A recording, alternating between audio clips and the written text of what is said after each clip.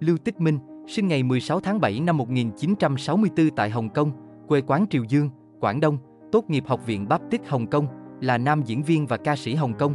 Năm 1988, anh tham gia lớp đào tạo nghệ sĩ của TVB khóa 14 và chính thức bước vào làng giải trí. Cùng năm đó, anh giành vị trí Á quân trong cuộc thi ca hát Tân Tú lần thứ 6 của TVB và ký hợp đồng với TVB. Năm sau, anh tham gia diễn xuất trong bộ phim thời trang nghĩa bất dung tình trong vai em trai của Lưu Gia Linh, nhanh chóng nổi tiếng và được TVB tích cực lăng xê. Năm 1991, Lưu Tích Minh nhận giải thưởng Tân binh vàng trong chương trình Kim Khúc của TVB và giải đồng Tân binh của Đài Phát thanh Thương mại Hồng Kông. Sau đó, anh lần lượt tham gia các bộ phim Uy Kim Huyết Kiếm, Nộ Hải Cô Hồng, Huyết tỷ Kim Đao. Năm 1993, vì lý do cá nhân, Lưu Tích Minh rời Hồng Kông và chuyển sang phát triển sự nghiệp tại Đài Loan. Năm 1996, anh phát hành album tiếng Hoa đầu tiên mang tên Nguyên Lượng với tư cách là ca sĩ. Năm sau, anh tham gia bộ phim truyền hình Phong Trung Bách Hợp do Trần Đức Dung thủ vai chính.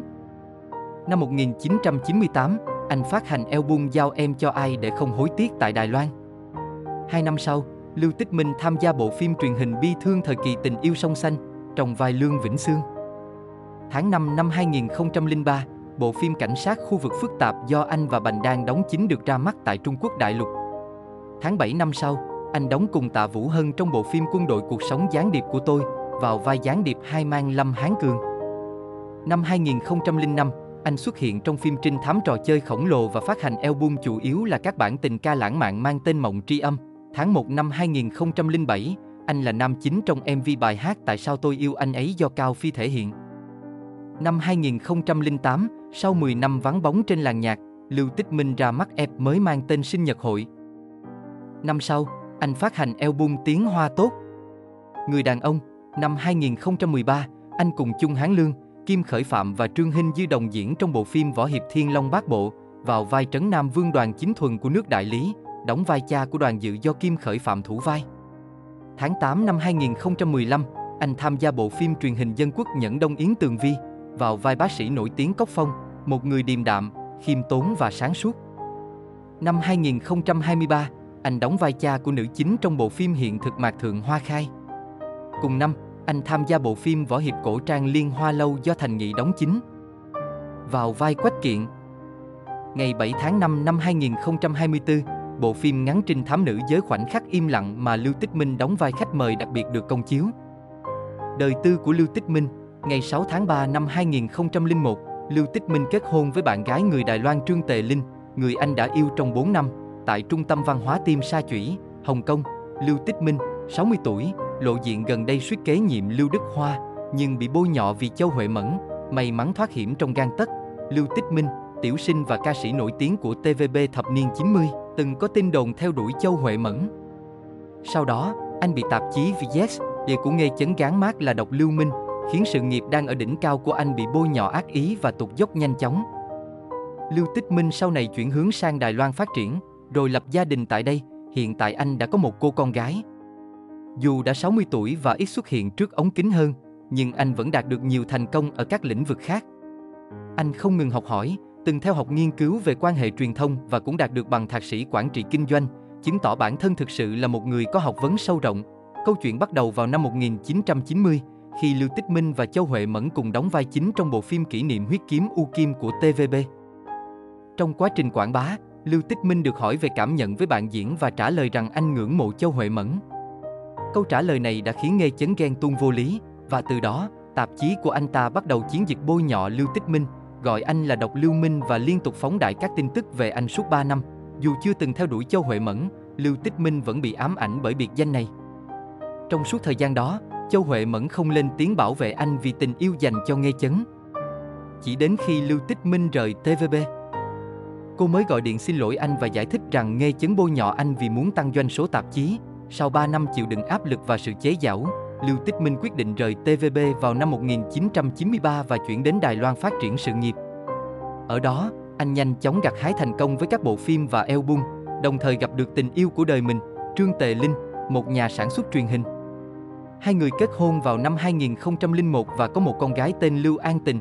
Trong khi đó, Nghe Chấn và Châu Huệ Mẫn vẫn tiếp tục mối quan hệ sau nhiều lần hợp tan. Nhưng họ không có con. Năm 2008, nghề chấn dính vào scandal ngoại tình và viết thư xin lỗi công khai, thừa nhận hành vi bôi nhọ Lưu Tích Minh là sai trái. Dù đã muộn, Lưu Tích Minh chấp nhận lời xin lỗi, nhưng mẹ anh vẫn khó lòng tha thứ cho những gì Nghê Chấn đã làm. Hiện nay, Lưu Tích Minh sống hạnh phúc bên vợ con và sự nghiệp ổn định, trong khi Nghe Chấn và Châu Huệ Mẫn vẫn bên nhau. Nhìn lại, câu chuyện của họ khiến nhiều người tự hỏi liệu nếu chọn con đường khác, cuộc đời họ có thay đổi không? Nhưng với Lưu Tích Minh, anh chỉ mỉm cười và nói rằng, phúc họa khó lường. Gần đây, anh bị cư dân mạng bắt gặp với ngoại hình thay đổi đột ngột, tăng cân và khác xa so với trước đây. Lưu Tích Minh mới đây được một TikToker quay video đăng lên nền tảng này. Trong đoạn clip, anh đang tham gia một sự kiện tại nhà hàng. Ở tuổi 57, anh không còn giữ được vẻ điển trai như xưa, nhưng trong anh rất khỏe khoắn, đầy năng lượng, khiến các fan đã lâu không gặp anh cảm thấy vô cùng vui mừng. Nhiều người đã để lại bình luận, rất nhớ Tích Minh ca, Tích Minh ca bao giờ mới quay lại đóng phim. Sự nghiệp của Lưu Tích Minh Lưu Tích Minh sinh ngày 16 tháng 7 năm 1964 tại Hồng Kông.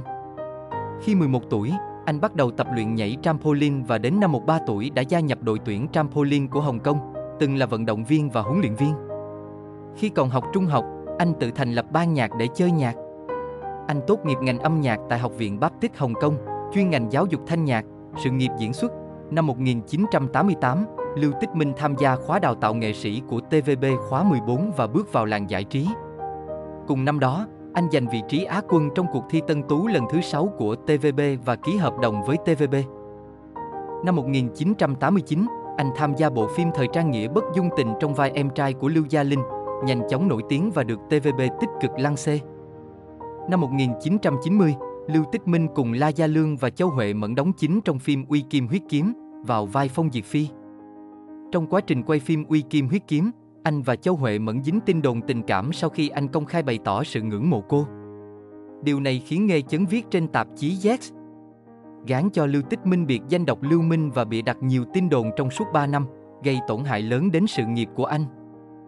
Năm 1991, Lưu Tích Minh phát hành album đầu tay, bao gồm các bài hát như Em nở để anh đau lòng, Cỏ không rễ, Là duyên, Là nợ hay là một giấc mộng. Cùng năm đó, anh tham gia các phim truyền hình đại gia tộc, Nộ Hải Cô Hồng. Năm 1992, anh đóng vai Lăng Thiên Sinh trong bộ phim Huyết tỷ Kim đao cùng với Trịnh Y Kiện và Lương Tiểu Băng. Sau đó, anh tiếp tục tham gia bộ phim Mộng Đoạn Ngân Thành.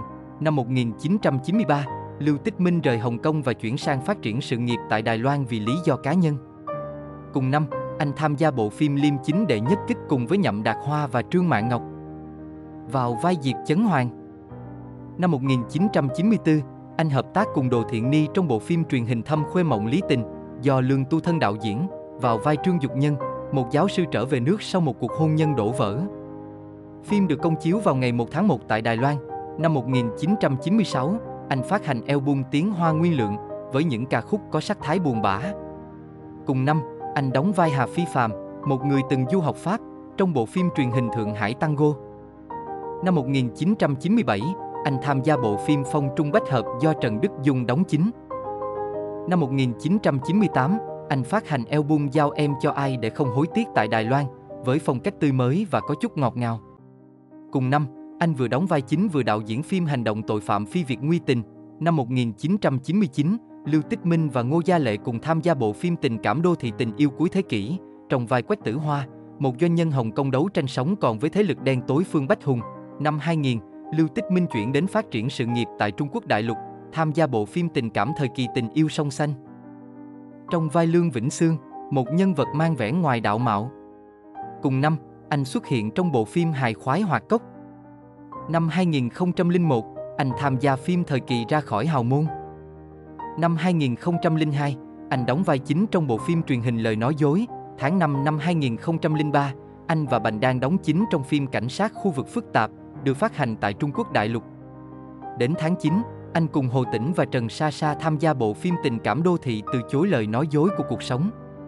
Tháng 3 năm 2004, anh đóng vai trong bộ phim Võ Hiệp Đông Phương Thần Châm. Đến tháng 7, anh cùng Tạ Vũ Hân tham gia bộ phim Quân đội cuộc sống gián điệp của tôi, vào vai gián điệp hai mang Lâm Hán Cường. Tháng 9, anh hợp tác cùng Trần Tử Hàm và Kiều Chấn Vũ trong bộ phim Trinh thám đứng sau lưng em, vào vai Mai Nguyên Tu. Năm 2005, Lưu Tích Minh tham gia bộ phim trinh thám trò chơi người khổng lồ và tháng tư phát hành album Mộng tri âm với các ca khúc trữ tình. Cuối năm, anh làm giám khảo cho vòng tuyển chọn top 10 tại khu vực Quảng Châu của chương trình Sogu Super Girl, cùng với Kha Dĩ Mẫn và Lạc Binh. Năm 2006, vào tháng 7, anh cùng Tuyết Giai Ninh và Trần Quang Thái tham gia phim hài một Tô Vạn Lý Du. Vào vai một người đàn ông lý tưởng, tốt bụng và hiếu thảo. Tháng 1 năm 2007, anh đóng vai nam chính trong MV Vì sao tôi yêu anh của Cao Phi và tháng 6 làm MC khách mời cho lễ khai mạc cuộc thi hình tượng cổ động viên La La Team. Năm 2008, sau 10 năm rời xa âm nhạc, Lưu Tích Minh phát hành ép mới sinh nhật hội. Cùng năm, anh làm giám khảo chính của chương trình tìm kiếm tài năng người mới mau mau nổi của đài truyền hình nội mông. Năm 2009, anh phát hành album Tiếng Hoa Người Đàn Ông Tốt, với phong cách cổ điển và thiết kế bìa theo phong cách tạp chí thời trang.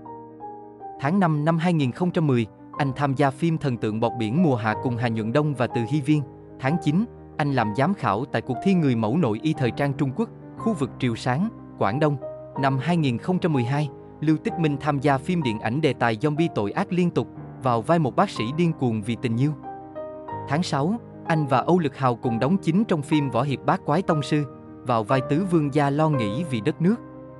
Tháng 8, anh làm giám khảo cho vòng sơ tuyển khu vực Quảng Tây của cuộc thi siêu mẫu thế giới lần thứ 23. Đồng thời hướng dẫn thí sinh cuộc thi Long Cung Bikini quốc tế. Cuối năm, anh làm giám khảo chương trình Đinh Vương tranh bá và tham gia phim tình cảm búp bê mặt đen. Tháng 10 năm 2013, anh cùng Châu Tú Na, Lý Sáng Sâm và Lưu Vũ Kỳ tham gia phim kinh dị lạnh đôi mắt vào vai Tô Quang Minh, tổng giám đốc tập đoàn Tô Thị bỏ rơi vợ con. Cùng năm, anh tham gia phim Võ Hiệp Thiên Long Bát Bộ cùng Chung Hán Lương, Kim Kỳ Phạm và Trương Hinh Dư, vào vai Trấn Nam Vương đoàn chính thuần của đại lý, thể hiện mối quan hệ cha con với đoàn dự do Kim Kỳ Phạm thủ vai. Tháng 3 năm 2014, Lưu Tích Minh cùng con gái Lưu An Tình tham gia chương trình giải đố mê cung cuồng nhiệt. Tháng 4, anh xuất hiện trong bộ phim cổ trang Võ Hiệp Hiệp Khách Hành, tác phẩm thứ hai của Kim Dung mà anh góp mặt. Tháng 7, anh tham gia chương trình Ba ơi xin trả lời, một chương trình giải đố dành cho gia đình. Tháng 8 năm 2015, anh tham gia phim dân quốc khích lệ Nhẫn Đông Yến Tường Vi cùng Triệu Hàng Anh Tử và Lưu Vũ Hân, vào vai bác sĩ nổi tiếng và điềm đạm cốc phong của Thanh Nguyên Đường. Tháng 9, anh tham gia phim Tiên Kiếm Vân Chi Phạm, chuyển thể từ trò chơi Tiên Kiếm kỳ hiệp truyện năm. Vào vai Nhất Bần, một trong thất thánh của Thục Sơn và là phiên bản cũ của Lý Tiêu Giao. Cùng năm, anh đóng vai chính trong phim khích lệ khởi nghiệp sinh viên thật lòng yêu em cùng An Long.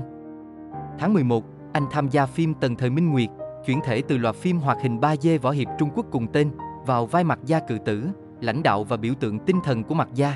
Ngày 2 tháng 11 năm 2019, Lưu Tích Minh cùng Lý Mật, Trần Tử Đô và Lý Nhược Oánh, Ma Cao, dẫn chương trình lễ hội kỷ niệm 20 năm Ma Cao trở về với đất mẹ mang tên khen ngợi Ma Cao.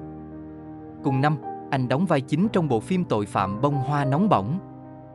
Năm 2021, anh tham gia phim trinh thám trò chơi không được phạm quy, chuyển thể từ tiểu thuyết của nhà văn nổi tiếng Ninh Hàng Nhất. Năm 2022, Lưu Tích Minh tiếp tục góp mặt trong các bộ phim truyền hình như Viện sách trên núi Cốc Viễn, Câu chuyện dưới núi Sư Tử và Kính Sông Thành. Ngày 8 tháng 4 năm 2023, phim truyền hình Long Phụng lệnh có sự tham gia của anh được phát sóng. Cũng trong năm 2023, anh thủ vai cha của nữ chính trong phim hiện thực Hoa nở trên đường, lấy bối cảnh nông thôn Liên Châu. Kể về câu chuyện những thanh niên có chí lớn trở về từ thành phố để xây dựng quê hương và phát triển ngành công nghiệp bột sa phường. Cùng năm, anh góp mặt trong bộ phim cổ trang võ hiệp Liên Hoa Lâu cùng Thành Nghị, vào vai nhân vật Quách Càng. Ngày 2 tháng 11 năm 2023, bộ phim ngắn Châu Tinh Kỷ mà anh đóng chính được phát sóng trên Tencent Video. Ngày 7 tháng 5 năm 2024, anh có vai diễn đặc biệt trong bộ phim ngắn nữ tính trinh thám khoảnh khắc vô thanh.